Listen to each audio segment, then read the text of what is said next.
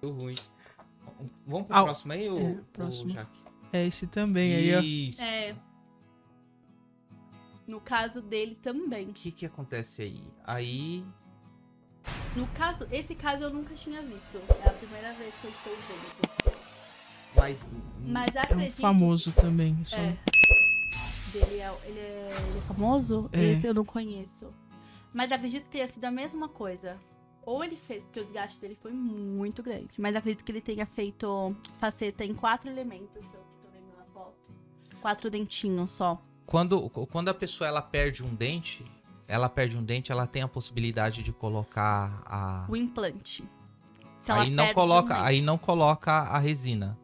Não. Quando a gente- o paciente perde o dente, né? Hoje o que a gente tem de melhor no mercado é o implante. Então Ah. o paciente realiza o implante. Com aquele pino lá. Isso, o Meu pinozinho. Nem quero pensar nele. E aí depois ele pode escolher a prótese sob implante, né? Ah, Hoje nós entendi. temos a prótese sob implantes de resina ou de porcelana. Geralmente eu indico de porcelana, como é um procedimento que vai durar bastante tempo, tem uma longevidade muito boa, então eu Aham. já recomendo a porcelana. Ai, que legal. Legal. Hoje nós temos muitas opções. Opções, né? Isso é Sim. muito bom. E fica, e fica perfeito, cara. Nossa. Fica lindo. Fica muito bonito, né? Fica. Eu falo que lá no, no consultório todo dia a gente chora. Todo dia é uma história diferente, né? Lá na minha avaliação, eu agendo uma hora e meia, duas horas por avaliação. Então, eu falo que é o momento mais importante, que é o momento que eu me conecto com o paciente, né? Ele, o paciente chega na minha sala, eu falo que lá na clínica, além do, do tratamento, é a experiência, né? Então, o paciente chega na clínica, toma um café super gostoso, nós temos um cardápio, o paciente escolhe o que ele quer comer. Legal. Então é bem legal. E quando chega na minha sala, eu falo, é um momento de conexão. Então eu quero saber a história do paciente, o que, que ele passou, os traumas dele, né? Sim. Porque geralmente o paciente, quando vem no dentista, carrega muitos traumas. Então eu quero saber o que ele passou, os traumas e quais as expectativas dele, né? Eu acho que a maior liberdade para um ser humano hoje é ele poder sorrir. E ainda, por mais que no Brasil seja o país onde tem mais dentistas no mundo, ainda tem muitas pessoas que não têm essa liberdade, não têm o acesso. Você acha que você acha que o brasileiro ele ele não é falta de dinheiro ou falta de informação mesmo com relação a essa esse cuidado com, com os dentes? Porque se você for ver, são coisas simples, es- escovar o dente, ter o, o cuidado com a higiene bucal, né? E Diariamente. você vê que tem pessoas que nem liga pra isso. Você acha que é falta de informação, falta de cuidado, eu acho que é um, é um conjunto, né? Hoje eu atendo pacientes que, poxa, conhecem o meu trabalho há muito tempo, me acompanham há muito tempo e, poxa, juntou ali todo mês, Legal. por um, dois anos, pra conseguir realizar o procedimento comigo. E ele conhece o procedimento, ele sabe o sorriso que ele quer. Assim como eu também tenho pacientes que têm condições de realizar um procedimento mais caro, mas, poxa, não quer, ou ai, doutora, eu não gosto de passar fio. Ah, doutora, eu fui no dentista quando eu tinha sete anos e ele tirou um dentinho à força. E aí eu não quis mais voltar. Então eu acho que é um conjunto, Entendi. né? Ainda a maior parte, eu acredito que seja a parte financeira. Ainda pega um pouquinho mais. Pega um pouco. Pega um pouquinho mais. Legal. Bom, vocês estão assistindo. Corrigindo, né? Não é Hum. sucesso, é, é- é sorriso. por favor. É sorriso. Digita sorriso nos comentários que você vai aí é, é, ter a possibilidade de concorrer aí a, aos 150 reais no Pix e os 500 reais no procedimento, né? Exatamente. Então chama a família, pô. Coloca aí, pô. Você pode levar. Compartilha- com Ó, mundo. menos três, né? Porque a gente não tá, né, Nanda? É, menos. A gente não tá, infelizmente. Vou mandar aqui pro família. Já mandei, na verdade. Então, Tem uma galera aqui. Tá entrando gente, hein? Pessoal, se inscreve aí, né? Inscreve Que tem surpresa, né, Nanda? A gente tá preparando algumas coisas pro final do ano, né? E Coisa boa. é coisa boa, né? E a gente vai, né, eu não vou, eu vou dar só um pouquinho de spoiler. Nós vamos, é, nós vamos atrás da dona da, da dona Da, da, doutora. da doutora Marita, Marita. né? Vamos. Vai ter, é, vai ter um, um Vai- episódio especial aí, né? Não estou sabendo. Ah, dessa então ainda. vai ter. Vai Bom, ser realmente uma surpresa. É, vai ser uma surpresa. Bom, é, vamos pro Instagram, ô Jaque? Instagram, isso. Eu estava vendo no Instagram tem antes e depois. Tem alguma história bacana que você realizou, que você deixou no Instagram? Ó, ó essa de baixo aqui da, da direita, Tem esses dois sorrisos. Também. E tem um casinho que eu fiz um retrabalho. Ele Ah, tá lá em essa- cima. Lá em- essa Você Tá, um fez um pouquinho. retrabalho lá embaixo? Tá lá embaixo? Tá lá embaixo. Vai É, lá. Esse caso também é bem interessante, foi bem legal. Muda muito a fisionomia da pessoa, Nossa, né? é uma outra Levanta. Quando o paciente vai lá na clínica, eu falo assim: tire as suas últimas fotos com esse sorriso. Ai, Porque que a da partir de hoje você será uma nova mulher ou um novo homem. Muda. Muda, né? Muda. O Ai, que muda legal. retrabalho é esse daqui, doutora? Eu acho que ele tá fixado lá, não é? É esse daí mesmo. Tá fixado lá em Tá- cima já. E também tem. Aqui, ó. Ele Peraí. aqui, ó. Ele já Desce, passou. É, esse mesmo. O de cima. O de cima. Isso, esse mesmo. Aí. Esse casinho é legal, eu gosto de falar de retrabalho, porque hoje acho que 90% dos meus pacientes são retrabalho. Por que, que eu falo isso? É, teve o boom das facetas, né? Na época todo mundo queria aquele sorriso super branco, né? Então todo mundo surfou nessa onda aí das facetas. E hoje as pessoas estão mudando um pouquinho. Elas querem algo mais natural, algo mais fino. Todo mundo quer aquela sensação assim, ah, eu quero. Igual com a Jarila. Uhum. As pessoas olhem pra ela e falem, poxa, ela tá diferente. Mas não saiba falar o que, que ela fez O que que ela fez? né? Porque antes, há uns três anos atrás, todo mundo queria assim, o sorriso branco e todo, mundo- que todo mundo percebesse que ele realizou lentes, né? Era ostentação, ainda é, né? Sim. Mas era uma era a ostentação do momento. E hoje, é, eu fiz as lentes dela tem um tempinho. E eu realizei a troca. Ela tinha- havia feito em outro dentista, ela tava com um pouquinho de gengivite, né?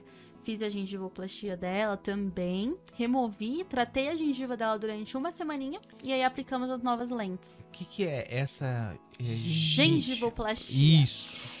Se você for reparar nos dentinhos dela, nesses dois dentinhos, Aham. eles são menores, a gengiva. O formato da gengiva tá um pouquinho menor. Não sei se você Hum, consegue reparar. consigo ver. Isso. Então, nesses casos, a gente realiza uma gengivoplastia. A gente faz um recortezinho na gengiva e aumenta a coroa dental. Que a gente Mas isso não deixa a raiz exposta? ou Não, porque tem um limite. Tem um limite? Tem um limite. Ah, Não deixamos, tem Que um legal. limite.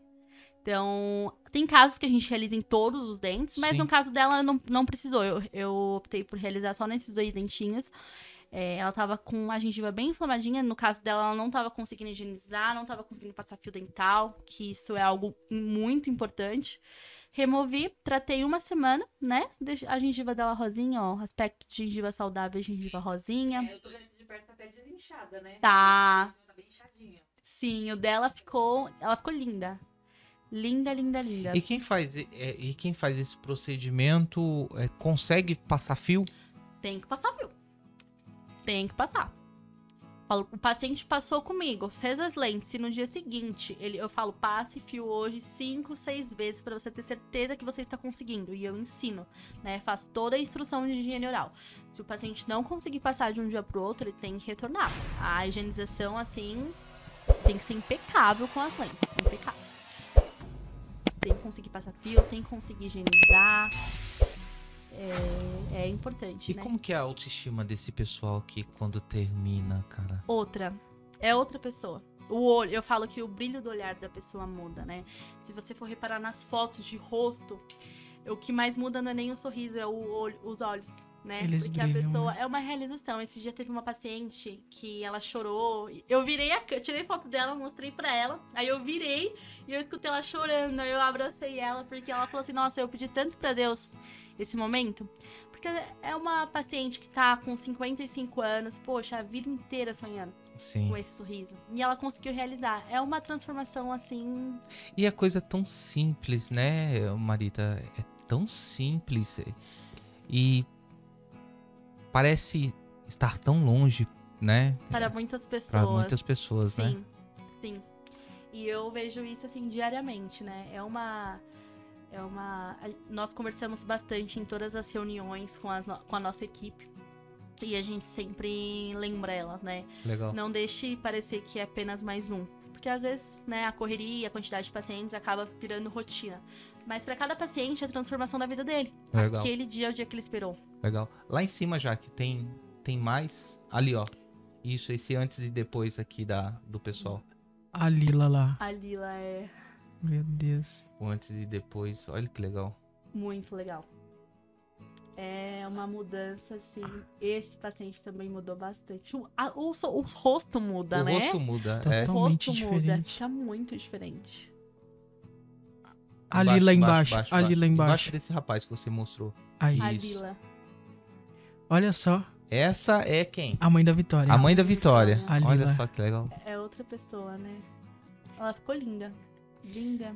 Que esse é, é, é um mito de ter dentes brancos. Todo mundo quer dentes brancos como se fosse a coisa perfeita. E esse pessoal tá regredindo, tá buscando algo mais natural, tá deixando meio amarelado, meio.